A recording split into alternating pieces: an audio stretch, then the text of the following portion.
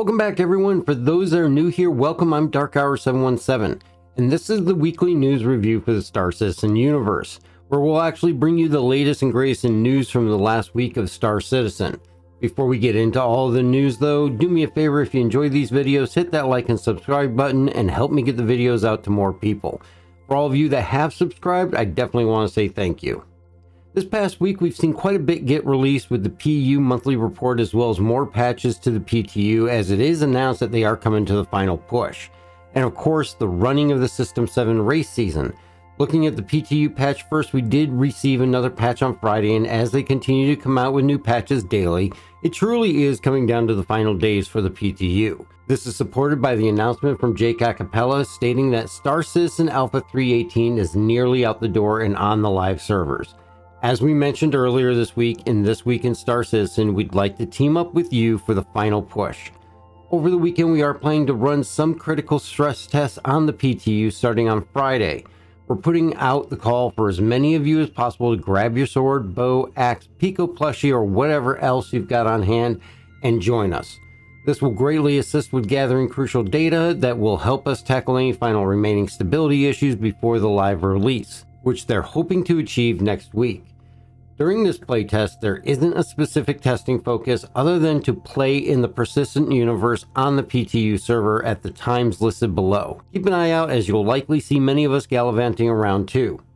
We plan on kicking off with one hour of testing on Friday at 8 p.m. Central US time, 2 a.m. UTC Saturday, and then doing multiple tests throughout the weekend for one hour each. The test times that they've selected occurred on Saturday at both 2 p.m. and 8 p.m. Central Standard Time, but are also occurring today on Sunday, March 5th at 2 p.m. and 8 p.m. Central Standard Time as well. These will last for one hour each day, so make sure to jump in and do whatever is possible to stress the servers out. Some citizens actually have posted some interesting replies to this already, including the desire to flood August Dunlow Spaceport with a wall of Finleys, many listing the individual known issues from the patch notes or including other issues that they're having in game. Some even pointed out that the stress testing barely will stress anything as it will be only over the course of an hour each day, and also questioning the testing of higher rep required missions as because of the daily patches, earning the rep to get higher paying missions has not been possible. We also got a reply with a detailed look into the roles in life of actor John Rhys Davies. Patch 318 has been the longest running PTU to date for Star Citizen, but that is understandable as it is the single largest and most important patch to date as well. With more features, additions, and new content being introduced than any patch before it. As with any alpha gameplay, any patch release will have known bugs and is not likely to be released with zero issues but in playing the PTU, it has been fairly stable even with the known bugs occurring. Many can be worked around and are not absolute game stoppers. So I am looking forward to hopefully see the final days of the PTU for 318. We do already know that the goal is to see patch 319 bring in the Invictus Fleet Week, which is typically the end of May, beginning of June, and we have already seen a number of exciting add-ins for 319, including salvage-based missions, which I'm really looking forward to.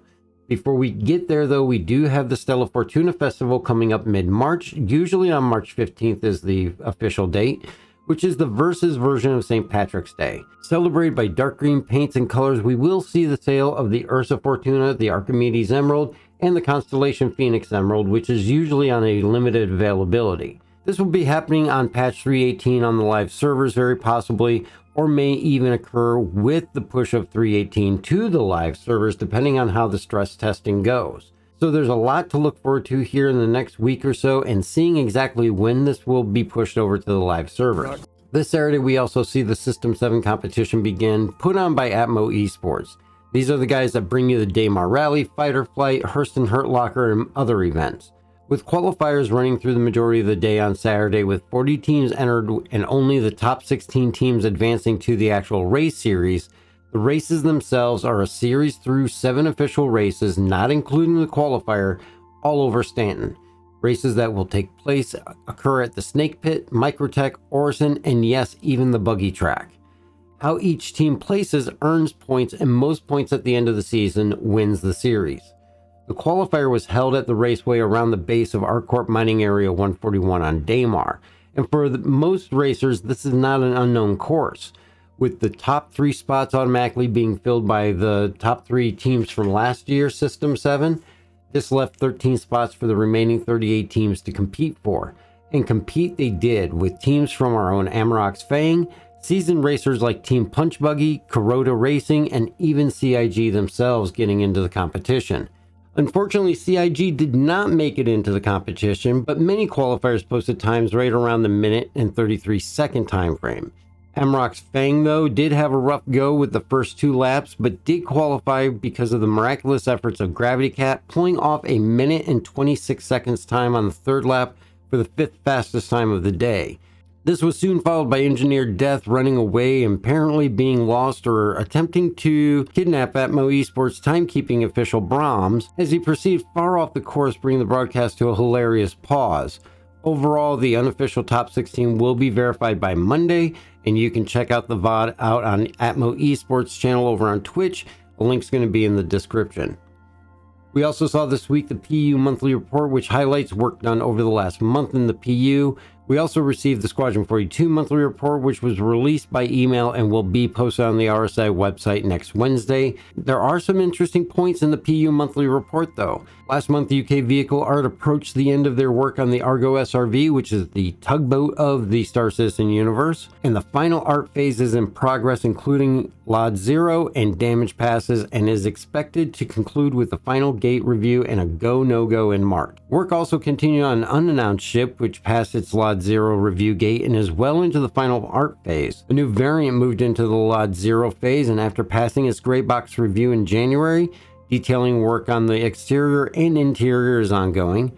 The Crusader Spirit continued its gray box pass with a review gate taking place at the end of the month.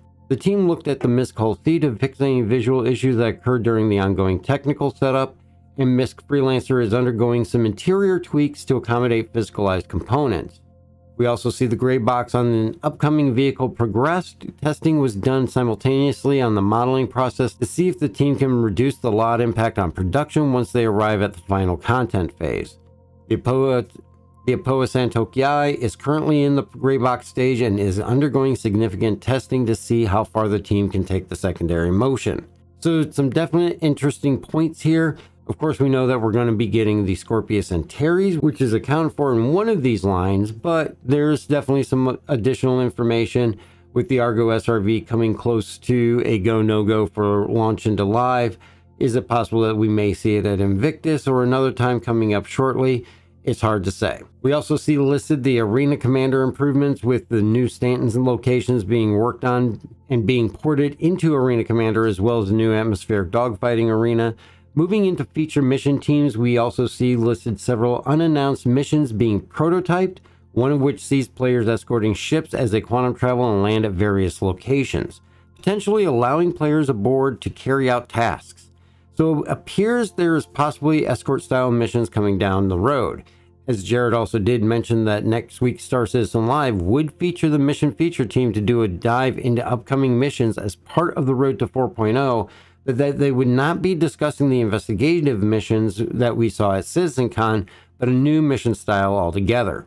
A link is going to be in the description to check out the entire report, and there's a lot there, so check it out. We also see the Galactapedia update hit this week, and for those that are lore enthusiasts, it is a collection of one full length article and 20 short articles, all ranging from information on the Terranus system to Terran and the Great Traveler. Lots of great articles here for you to check out, and I will have a link in the description to do so if you love looking at the lore. And this brings us into this week's edition of Inside Star Citizen, and this week we take a look at the underground facilities with Underground Playground. In this episode, we do see a look at the EU Sandbox 2 team's redesign of the underground facilities. What we saw last year at CitizenCon made everyone excited for these redesigns. Currently in white box phase, the work continues to bring these to the verse, we take a look at a playthrough on Pyro 3 and we see the structure that is now making up the underground facilities and the landing pads associated with them.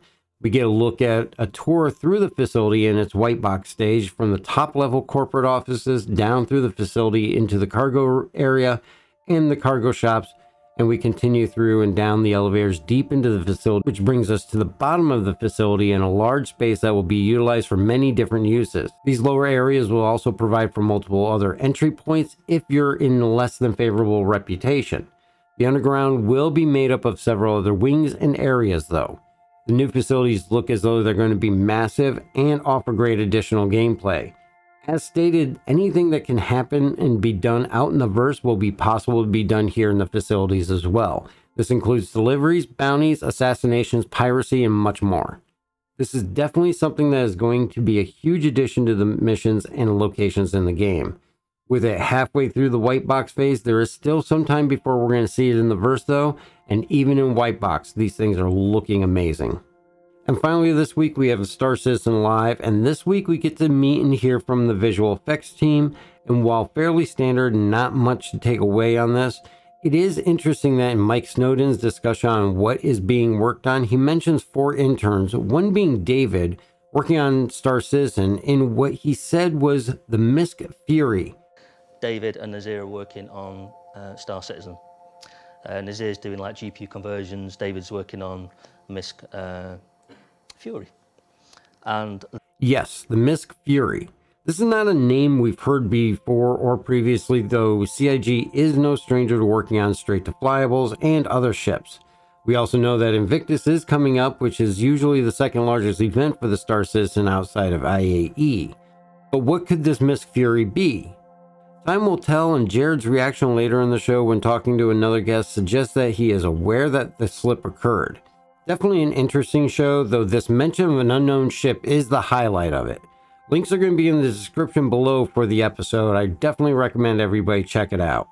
And that is about it for this week. I hope you found this helpful. Let me know what you think or even your thoughts on what possibly the MISC Fury could be. Don't forget to check out the streams though on Twitch every Tuesday and Sunday night and here on YouTube every Thursday at 7 p.m. Eastern Time. And if you'd like to help support the channel, check out the merch store, the Patreon, or even just hit that join button to become a member. We definitely appreciate the support and keep an eye out for our future giveaways. Thank you again, and please be safe out there, and we will catch you in the verse.